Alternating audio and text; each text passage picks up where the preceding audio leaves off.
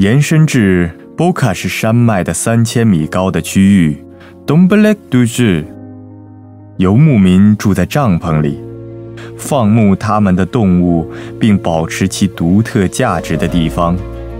这里覆盖着各种各样的草本植物，尽管树木贫乏，山上看，那些经过的人的痕迹仍然屹立在平原地区的土壤中。距离遥远。人们在咫尺的土地。Tumblack dujour